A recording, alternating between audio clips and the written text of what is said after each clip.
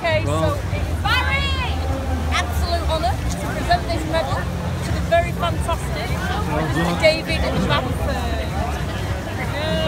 Hooray. Yeah, one hour 17. Congratulations.